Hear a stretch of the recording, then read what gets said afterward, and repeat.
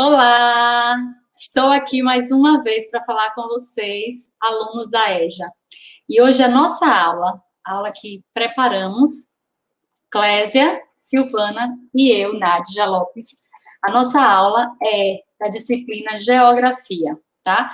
E nós vamos falar um pouco, retomar um pouco é, aquele, aquele diálogo que nós tivemos na última aula sobre comunidade.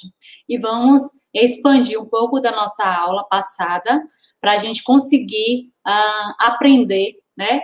Mais uma vez com essa disciplina. E tem novidade para vocês hoje. Tem um conteúdo que é a cara dos feirenses, que é a nossa cara. Vamos ver? Antes disso, eu quero trazer essa mensagem para vocês de Nelson Mandela. Lembra na nossa última aula que a gente falou sobre ele também? Contei um pouco, né, da história de superação dele e das lutas de Nelson Mandela. Hoje eu venho trazer a mensagem dele, mas a nossa aula não vai ser sobre ele, tá? Mas ele traz uma mensagem muito bonita quando diz assim: a educação é a arma mais poderosa que você pode usar para mudar o mundo. Devemos promover a coragem, onde há medo, promover o acordo, onde existe conflito, e inspirar a esperança, onde há desespero. Para falar de comunidade, a gente vai revisar, né? Aqui a gente está perguntando o que é comunidade. Vamos revisar aquele conceito de comunidade que nós estudamos na aula passada, né? Começamos trazendo um pouco é, dessa ideia de o que é comunidade, qual o papel de uma comunidade, por que existe comunidade e como nós nos é, identificamos com cada comunidade. E aí a gente vai dar seguimento a esse conteúdo, porque nós somos comunidade, na escola, na família, na igreja, no bairro, onde quer que nós estejamos, a gente está andando em comunidade, né? Se eu pertenço àquela escola, é a minha comunidade escolar. Se eu pertenço àquele bairro e sou atuante nele, ali é minha comunidade. Então, a gente exerce funções diferentes, né, em ambientes diferentes. Vamos ver é, um pouco desse conceito, né? Aqui a gente traz né, essa imagem que é uma imagem assim muito significativa, uh, diz muito sobre o que é comunidade, né? Um grupo de pessoas unidas em um propósito, um grupo de pessoas que se direciona para um bem comum.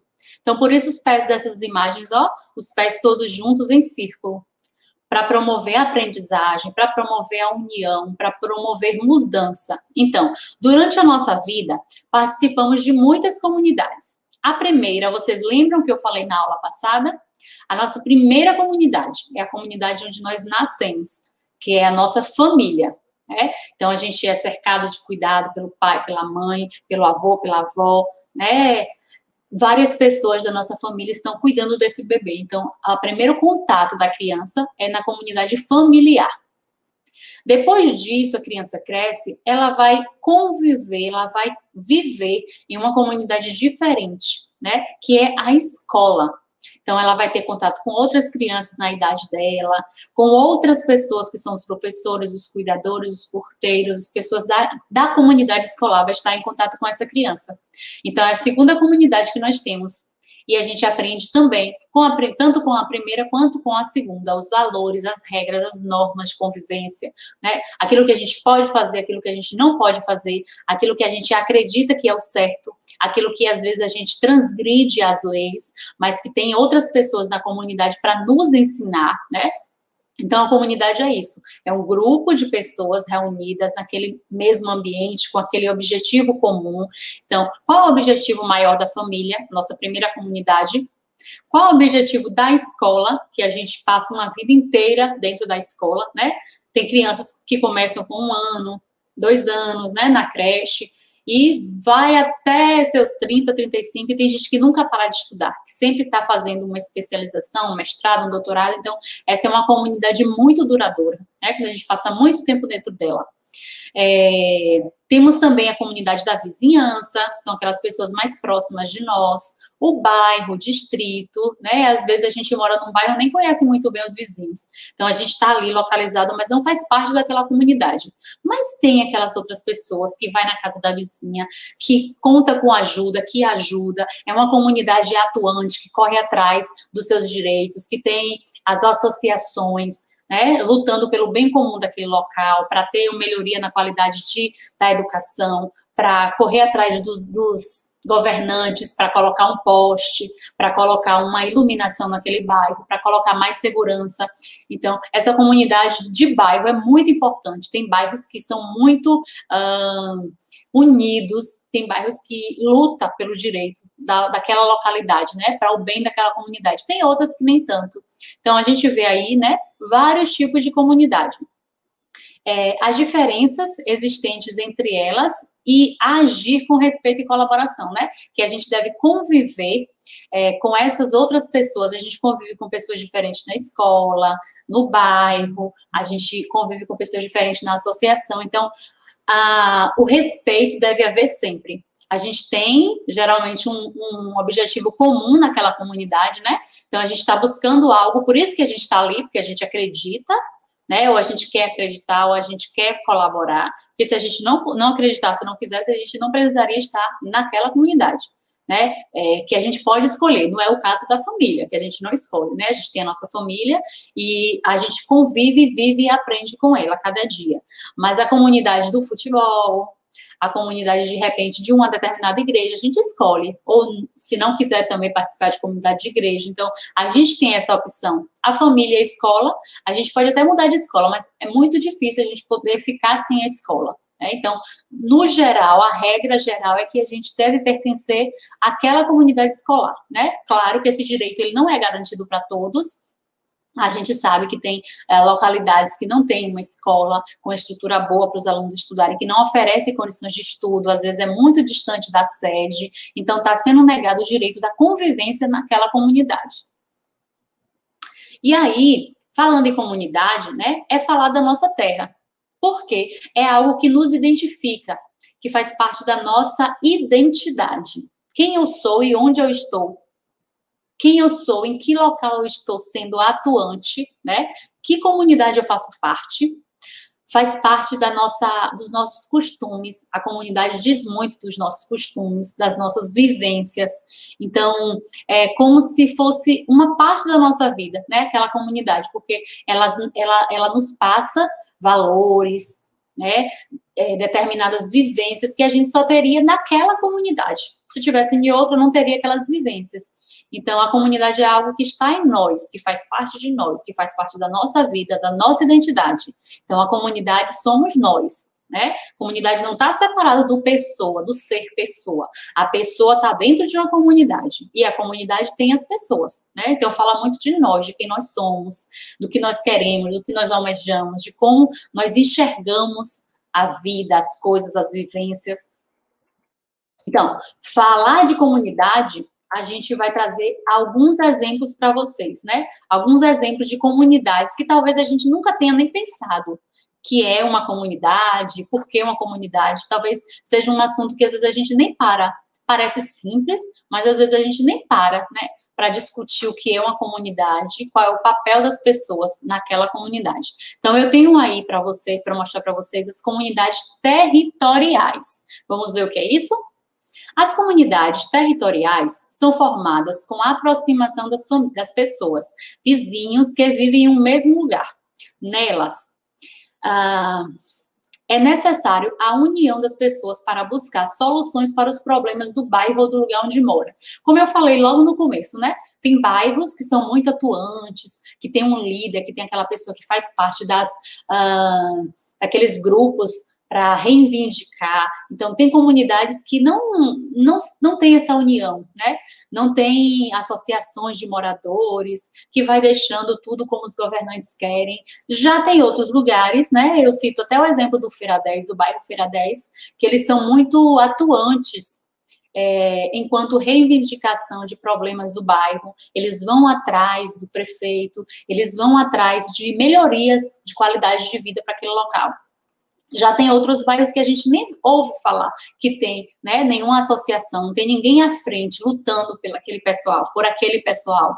E às vezes fica faltando muita coisa porque a gente também não luta pelos direitos que nós temos. Então a gente vê uma luz apagada, é, deixando aquela rua escura e perigosa e a gente não corre atrás para ligar para um, setor responsável né, pela iluminação pública. A gente não tem um grupo formado no nosso bairro para defender, para ajudar e para procurar melhorias. Então, essas comunidades territoriais falam sobre aqueles locais onde as pessoas se movimentam, estão lutando por um bem comum, como eu mostrei nessa imagem aqui, né?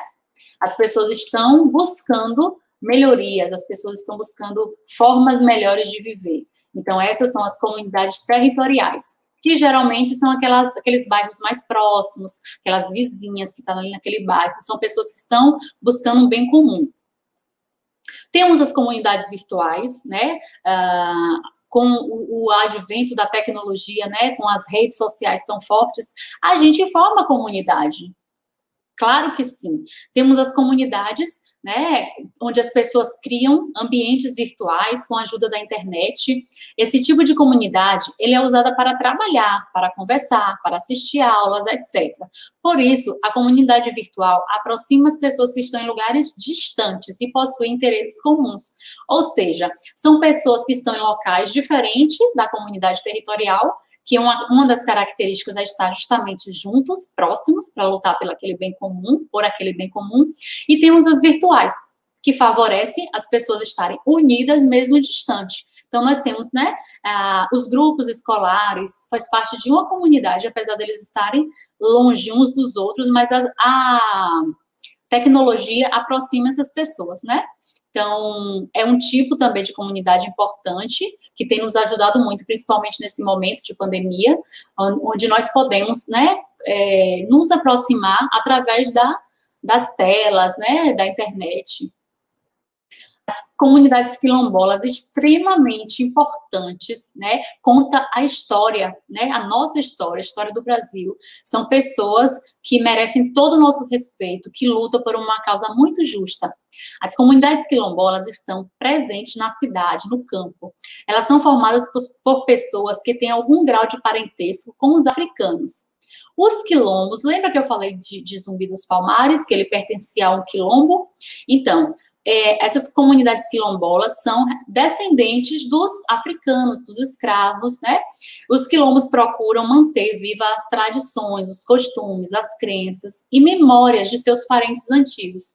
Então, são pessoas que não querem deixar a sua cultura morrer, não querem deixar no passado, eles querem manter vivo toda a tradição, né, daqueles negros que vieram escravizados para o Brasil, e eles vão perpetuando a sua cultura, né, então eles são extremamente importantes para manter essa cultura que é tão rica e que a gente não pode deixar de valorizar. Aí eu trago uma curiosidade para você. Veja se vocês sabem disso, tá bom? É, quando a gente pensa em quilombos, em quilombolas, a gente pensa em uma realidade bem distante da nossa, né? A gente não pensa, ai, será que tem um quilombo aqui perto de nós? Será que tem uma comunidade quilombola aqui perto de nós? E às vezes a gente nem para para pensar e acha até que não tem. Mas olha só, quem não sabe vai saber agora que aqui em Feira de Santana nós temos três comunidades quilombolas e elas são certificadas pela Fundação Cultural Palmares. Vamos conhecer um pouquinho delas? Eu trouxe aqui três. Vou falar, vocês podem pesquisem mais para vocês saberem. Em outras oportunidades a gente poderá estar falando de cada uma delas, mostrando um pouco mais, né, de como eles se organizam, de qual é o objetivo deles, como é um pouco da vida deles, né, dessas comunidades. Mas aqui eu vou trazer três nomes a nível de curiosidade, porque eu sei que muita gente não sabe que tem aqui. Temos a comunidade da Matinha dos Pretos, que foi certificada no dia 5 de fevereiro de 2014. Temos a comunidade de Lagoa Grande, que foi certificada em 17 de abril de 2007. E temos a comunidade de Candeal 2, que foi certificada em 29 de novembro de 2016. Então, depois a gente vai conhecer um pouquinho mais sobre essas comunidades, tá bom? Uma comunidade riquíssima de cultura, de tradição, são as comunidades indígenas. são diferentes entre si, porque a gente não pode é, levar, perpetuar essa ideia de que os índios são todos iguais, vivem todos da mesma forma, comem da mesma forma, têm os mesmos problemas. Não. Os índios, eles são distintos, a comunidade indígena é distinta. Olha só, a gente precisa entender isso. Pois cada uma se organiza de uma maneira. Eles têm modos de viver variados e se comunicam por meio de línguas também diferentes. O que todos eles têm em comum é o contato direto com a natureza, né? A luta por manter as tradições deles. A luta hoje deles é por garantias, por direitos que eles têm e que são negados. Então, isso eles têm em comum. Mas a gente não pode pensar que índio é tudo igual, que índio vive sempre da mesma forma. Isso é um engano. Aqui eu trago para vocês como sugestão. Eu não vou passar é, essa música, é muito bonita, essa canção que se chama Canção do Exílio. Ela é muito interessante. Eu estou deixando aqui a indicação, ó, é, do link que vocês podem estar acessando depois no YouTube. Eu não vou passar para vocês, eu vou ler um trechinho dela, tá? É, mas vocês podem ouvir, claro, porque eu não tenho voz para cantar para vocês.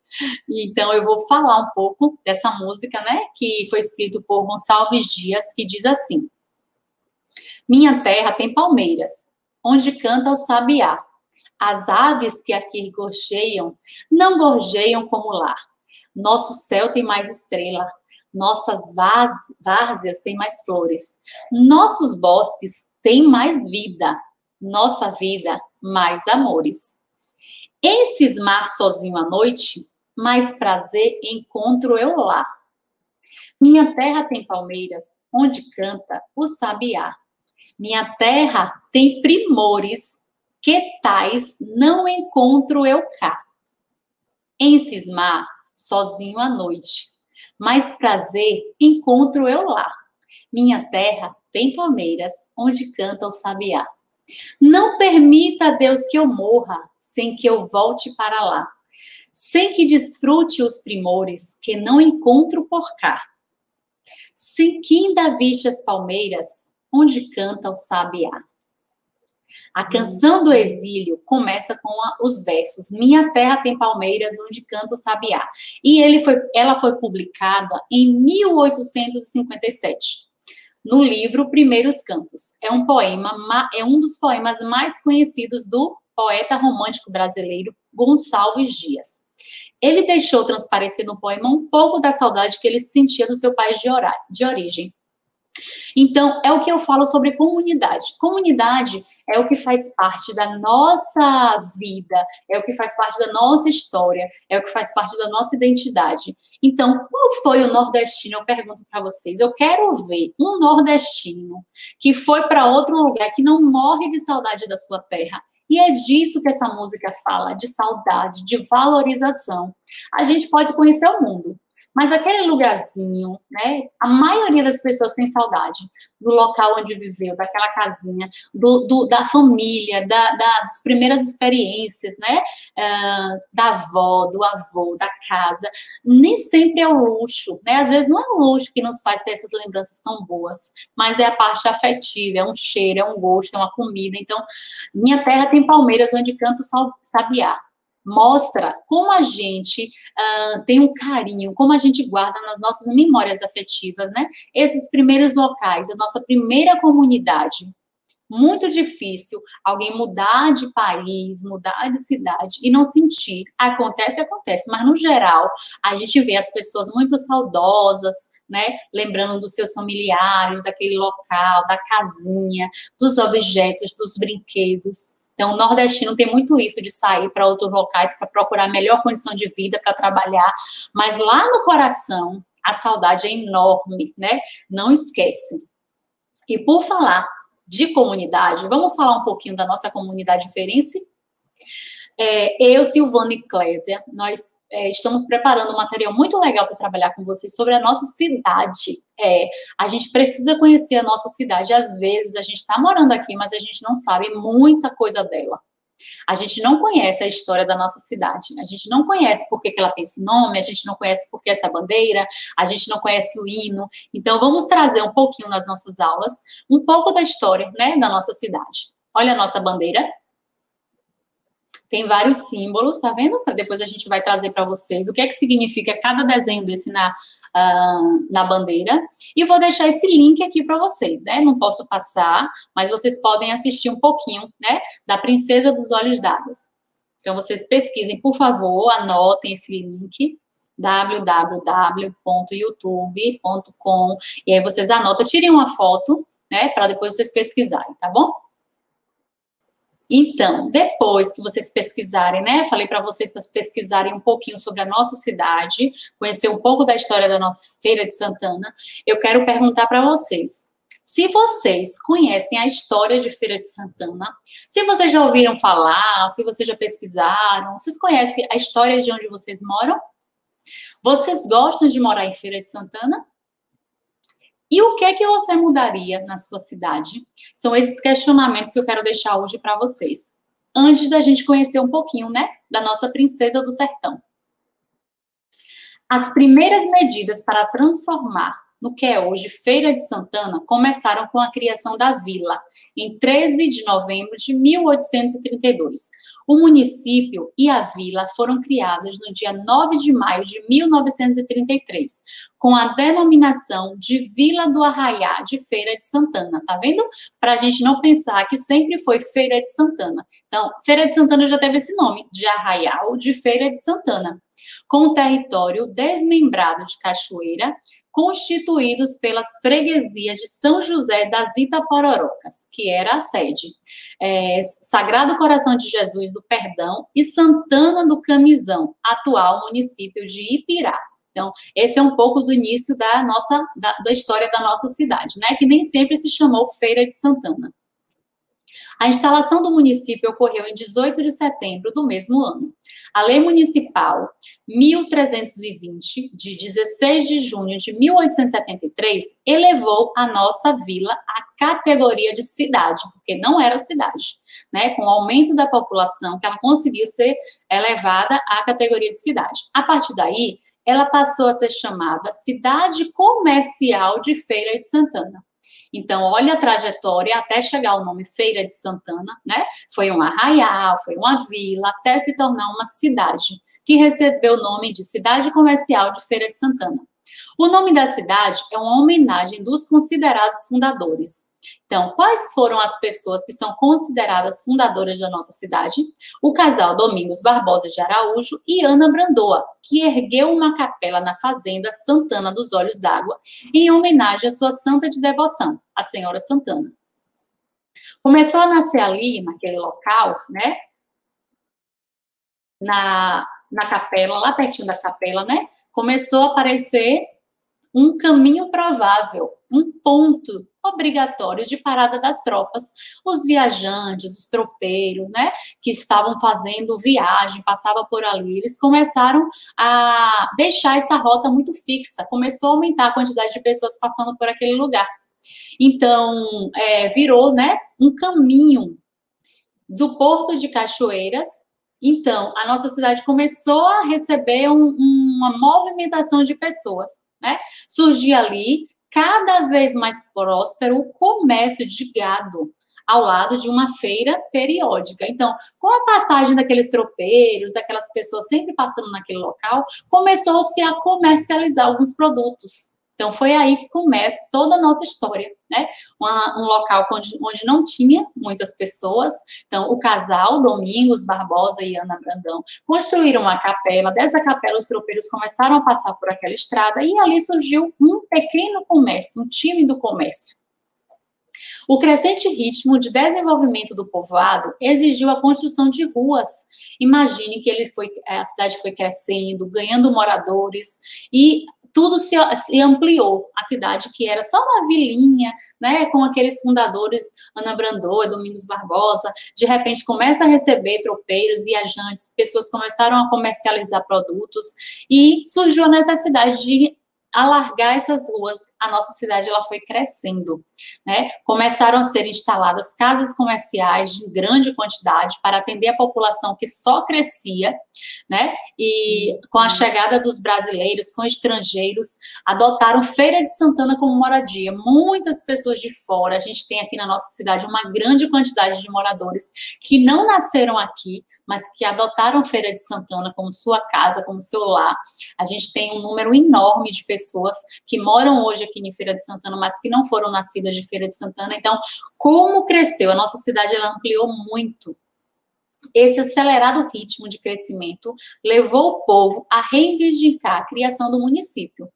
Era o nascimento daquela que se transformaria na segunda cidade do estado. Imagine 31 do país, e uma vocação para atrair gente de todas as partes do país, pela sua localização geográfica, com, com o entrocamento que une o país. Né? E a hospitalidade do nosso povo. Então, a gente tem, além da, é, a localização que nos permite esse trânsito de pessoas de outros locais, né? Muitas pessoas que viajam, que usam as nossas estradas. Então, isso facilitou a, o crescimento. E hoje nós temos, né, nossa cidade, é, a segunda cidade do nosso estado. E Uh, a hospitalidade, né? A gente sabe como, como os feirenses são hospitaleiros, como estão abertos a outras pessoas e a dar oportunidades a pessoas de fora, né? Então, eu quero que vocês pesquisem mais um pouco. Nós vamos estar falando muito sobre nossa cidade. A gente vai começar com esse, essa sequenciada de Feira de Santana para trabalhar com vocês, que às vezes moram aqui e não conhecem. Né? Então, a gente vai trabalhar localização, a gente vai trabalhar bairros, um, uma boa parte de história da nossa cidade. Eu tenho certeza que vocês vão gostar. Né? Eu queria saber de vocês se vocês já conhecem, se vocês já ouviram falar dessa história, se vocês já estudaram a história de feira, né? E se você deseja ampliar os seus conhecimentos sobre a nossa cidade. Se você quiser conhecer a sua cidade, vem com a gente, que a gente vai trabalhar muito uh, esses conhecimentos sobre Feira de Santana, tá? Em nossas aulas, vamos continuar refletindo sobre Feira de Santana. E eu quero deixar uma atividade para vocês. Escrevam, por favor, uma frase no seu caderno, mostre a professora, dialogue com o professor, faça perguntas para eles também sobre a nossa cidade e diga, escreva ou peça uma pessoa para escrever para vocês, né? Qual o seu sentimento por essa cidade? Você tem gratidão por ela ter aberto as portas para você? Se você for uma pessoa de fora, você tem vontade de sair da sua cidade por conta dos problemas que tem nela? Ou você tem vontade de lutar junto com a sua comunidade para a melhoria da nossa cidade. Conta um pouquinho para a gente, fala isso e vamos construir mais conhecimento sobre a nossa cidade, tá bom? Hoje a gente deu introdução um pouco sobre como surgiu os nomes que deram origem a, né, ao nome Feira de Santana. A gente já sabe que tiveram outros nomes anteriormente, mas eu quero convidar vocês para essa aventura na nossa cidade, para a gente conhecer um pouco mais sobre ela, tá bom? E eu me despeço de vocês, pedindo que se cuidem, se puder, fiquem em casa. A educação é a maior ferramenta para a igualdade social entre os homens. Acreditem nisso. Um grande beijo e até a próxima aula.